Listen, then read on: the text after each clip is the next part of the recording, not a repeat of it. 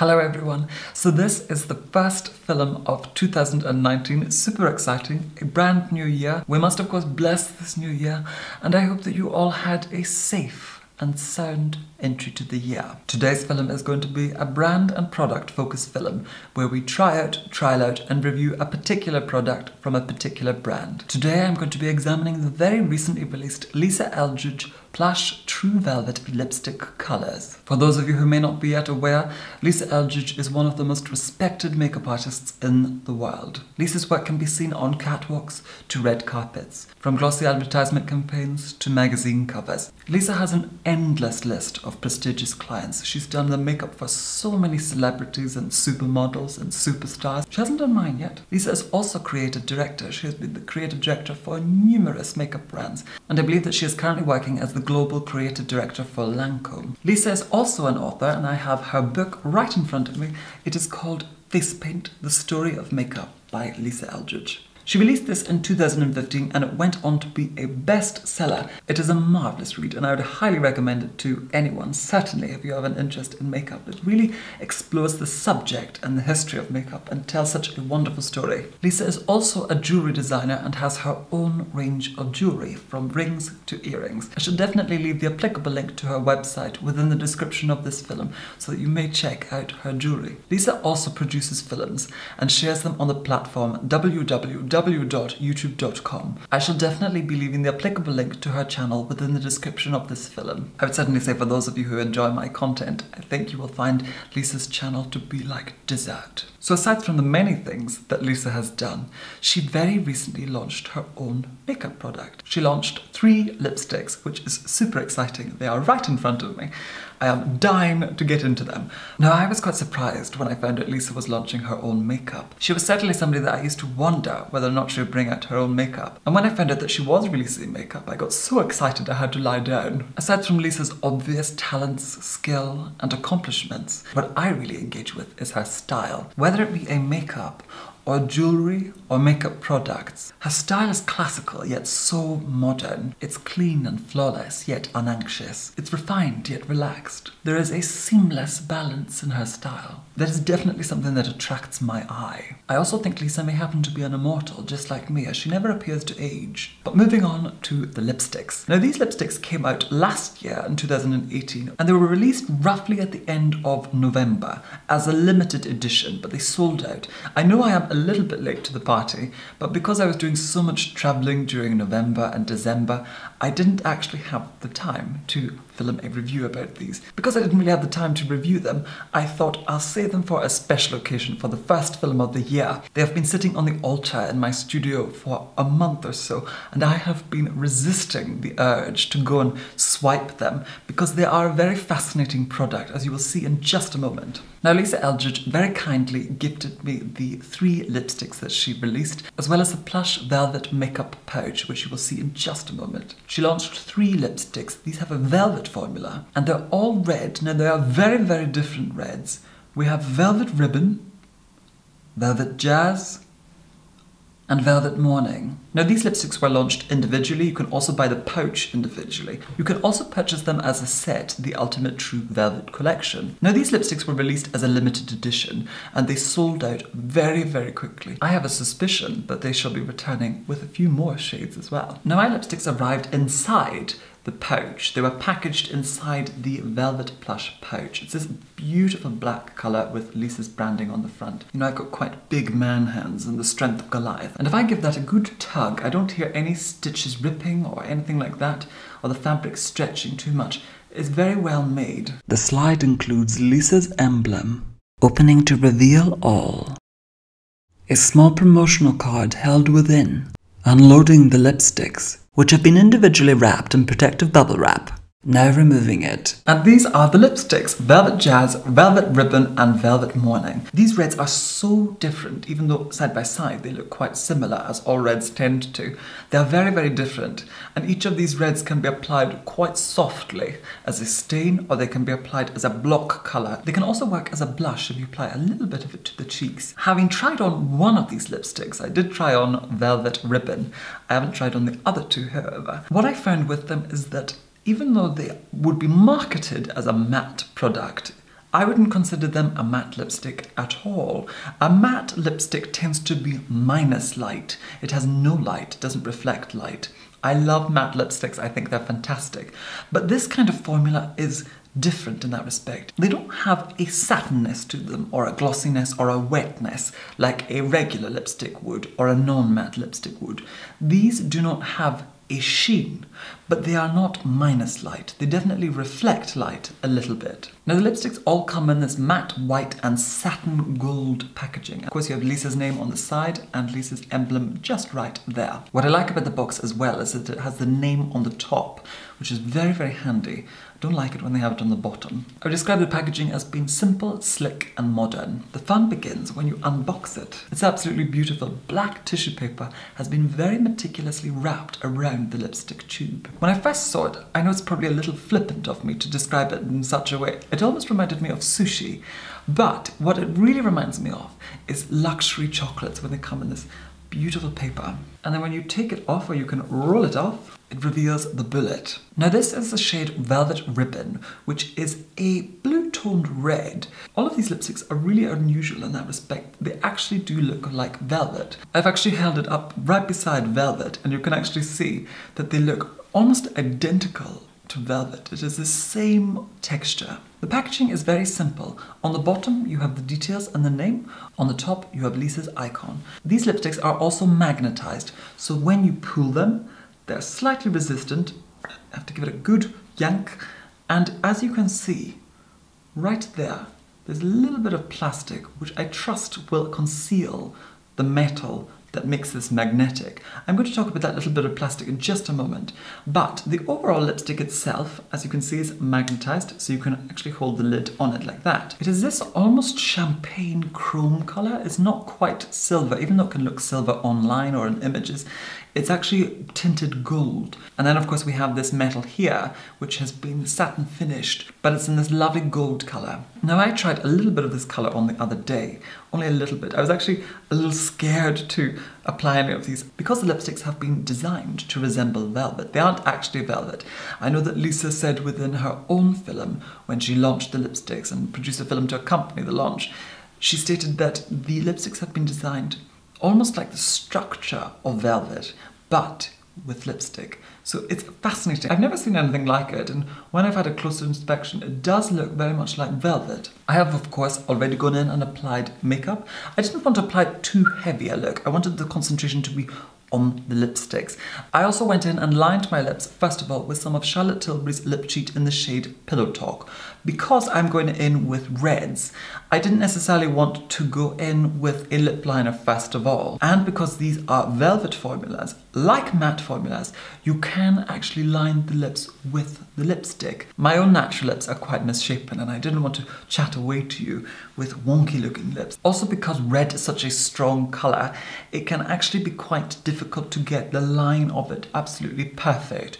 Nude is more forgiving and I much prefer to use nude lip liners when working with red lipstick anyway, because you can of course create a very clean line with a nude lip liner, but you can also cover the lip liner with the lipstick. I just tend to find it a little bit easier than using a dark lip liner. All these lipsticks really resemble velvet. And this is the color Velvet Ribbon. And I'm applying it straight from the bullet. First things first, it's very, very light. The formula is very, very light. It doesn't feel like I have really anything on the lips. It's very, very creamy, even though it's a matte. Well, it's more matte, it's more velvet. It's a very, very concentrated formula. You don't need a lot of it. I would say it's also very soft on the lips. It isn't quite a matte lipstick, it's definitely a velvet, because as you can see, if I just turn a little bit, it has a light to it. Now I'm going to go in with a MAC Cosmetics 231 brush. And as you can see, I don't actually have to line the lips that much, because I've already lined them. I just have to go over the nude lip liner. It's a much easier method when applying darker lipstick. So that is the shade of Velvet Ribbon now applied. This color actually looks way better on me than I imagined. I don't typically go for this kind of red. Velvet Morning is more the color that I would go for if I was wearing a red, or even Velvet Jazz. This kind of bluish red isn't necessarily my first choice, but this color, I must say, looks marvelous. I certainly didn't need a lot of lipstick to get a good coverage on the lips. It is definitely a very opaque formula and it makes my teeth look super white. And even looking at it, even though it is a matte formula, it certainly doesn't feel as drying on the lips as most matte lipsticks. I love matte lipsticks. I use them on myself. I use them within my work. These lipsticks definitely feel a little bit more bouncy. That's the word I would use. It's a much softer formula. I think this colour would look good on everyone, irrespective of skin tone. Applied strongly, as I have done, or applied as a little bit of a stain quite softly. It's a lovely colour. It's not too blue, it's not too orange, it's just in the middle. Even though it is very modern, at least I wanted to create something that is very modern, I actually think there's something really classical about this as well. And this tube, even though it is so slick and simple and modern, I could definitely see this in the 50s or in the in the 20s as well. I certainly don't know if any of you are fans of the Miss Fisher series, but I could definitely envisage Miss Fisher running around with one of these in all that 20s galore. And that's actually one of the things that I wanted to mention. It's a very intelligent use of colours and textures. If you went for something that was totally gold, it can be a little bit jarring. And if you went for something that was totally one finish, again, it can look a little bit flat or jarred. This little bit of plastic, which I trust conceals the magnet that secures the lid of the lipstick and the rest of the bullet together, because it is about two or three millimeters wide. You can actually see the plastic is quite wide looking. This actually very cleverly breaks up the colors. The base of it is quite large and you can really hold on to that. But if it was as fat here as it is all the way up to the top, it would seem a bit cumbersome. But because it thins in, it becomes smaller. It's more pen-like. This choice of shape makes the lipstick a lot easier to use. And it certainly looks a lot more elegant because you have this nifty applicator, yet you've got this point where you can really hold the lipstick. It just makes the experience of applying the lipstick a lot easier. You get a lot more control. But that bit of black plastic is also glossy. It still reflects the light as the satin finish as well as the champagne chrome, I would call it.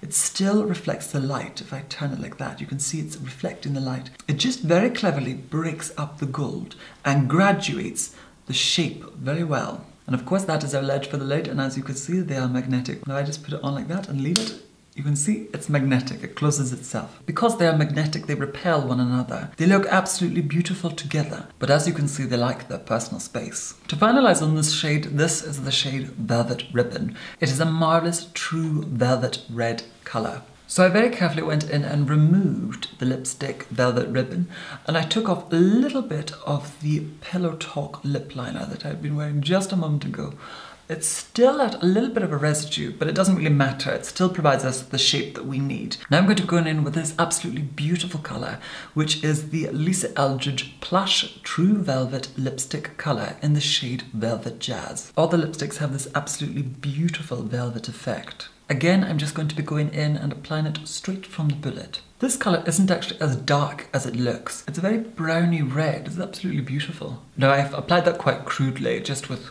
one or two little swipes. Again, very strong color payoff, great opacity, great coverage. Usually on me personally, I'm not really a fan of dark red lips as I do tend to find that they make my features look quite severe. Now I'm going to go in and perfect the shape with an Anastasia A1 brush. So that is the Velvet Jazz now applied. Now I will warn you, the lip line and the shape of my lips will look a little bit wonky because I have just followed my own natural lip line. My own natural lip line is quite asymmetric and a little bit disproportionate here and there. And especially with darker lipsticks, it really emphasizes the shape of one's lip. But I've only applied this just so that you can see the color. Velvet Jazz is quite an interesting lipstick.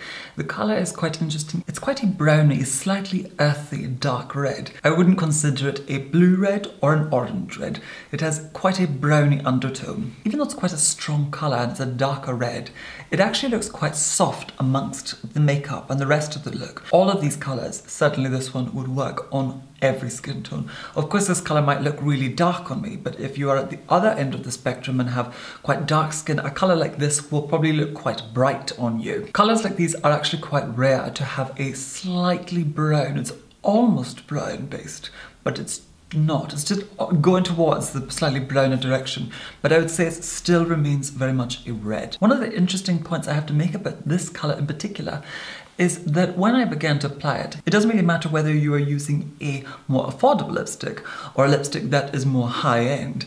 This kind of color tends to go on quite patchy. It tends to drag and you have to do one or two coats and build up quite a thick layer to get quite an opaque color across the lip. Whereas with this lipstick in the shade Velvet Jazz, I only had to do one layer. So that is definitely a positive about this lipstick. I would definitely say its formula was a little bit more creamy than the Velvet Ribbon. This one's much more it almost feels slightly satiny, and it's a little bit more satiny looking, which I would consider a positive given the fact that it is far darker than the velvet ribbon. I also just made a trip out for dinner. I ate an entire village, and the lipstick remained on. Certainly with my colouring, when I look at this lipstick, even though it is dark and quite strong, the colour is quite understated. I'd consider Velvet Jazz quite a bold, yet a very sensible red. So I further went in and removed the Velvet Jazz colour. Now I'm going to go in with our final shade, which is the Lisa Eldridge Plush True Velvet Lipstick colour in the shade Velvet Morning. Now if I hold this colour up against my skin, it will probably look quite orange. It looks a little bit more orangey red. And as you can see, it is this absolutely beautiful, vibrant, orangey red shade. Now I think this colour will look best on me personally. It's more the kind of red that I would wear. I much prefer these orangey reds on me. First of all, that actually looks really orange on me. And you don't actually need that much of the lipstick to gain quite an opaque layer. Now I have applied that directly from the bullet quite crudely. And as you can see, that's given us quite a strong color payoff. Now I'm going to go in with a NARS number two brush just to perfect the lip line. You have no idea how much it pains me going in and disturbing the lipstick and using it because when you do use it, you actually disturb the formation of the velvet effect. As these are a work of art. Now, I absolutely adore this color Velvet Morning. I think it looks absolutely gorgeous on the lips. And this is more the kind of red that I like to wear, something that's quite vibrant and more on the orangey side of things. Now, even though with my coloring, it is more typical to go for a color that's more blue-based, but I just prefer the way that orange-based reds look on me. I don't feel that they're as stark. Of course, orangey reds can look really stark on you, depending on your own colouring. I think all of these colours will look good on absolutely everyone. I think there's a red there for everyone, irrespective of undertone, irrespective of ethnicity. I think there's something there for everyone. So that more or less completes my brand and product focus film testing, trialing and reviewing the Lisa Eldridge plush true velvet lipstick colors. Now I think these lipsticks are absolutely gorgeous. The formula is fantastic. They are creamy, they are soft and they are velvety. The packaging is gorgeous. There's something very classic about it but also very modern about it. I'd actually describe these as a no-nonsense product with very charming packaging. Now I don't know for certain if these lipsticks in this exact packaging will be returning. I have a suspicion they will be. I don't know if the exact packaging will be the same for the next ones that Lisa brings out, if she's to bring out any more. I have a slight suspicion that she will, I hope she does. I definitely think this formula in other colours would be fantastic. And I should be putting my lipsticks back into my very decadent velvet pouch. I love the fact that it's black. You can never go wrong with things that are black. The Lisa Eldridge Plush True Velvet Lipstick colours are priced at £26 individually. I believe that these lipsticks are sold exclusively at Lisa's website www.lisaeldridge.com. I shall definitely leave the applicable links to her website and her own YouTube channel as well as her own social media within the description of this film. I have really liked working with this formula and these lipsticks. I would definitely consider them a luxury product and I would like to seize this as the opportunity to congratulate Lisa Eldridge on the launch of her plush True Velvet lipsticks and I wish Lisa Eldridge and all at Lisa Eldridge all the best of luck with their future launches, their product development, and their growth as a brand. I have had a lot of fun creating this film for you here today, and I hope that you have found this film to be either interesting, useful, helpful, or beneficial. Once again, thank you so much for watching, and of course, take care. Bye!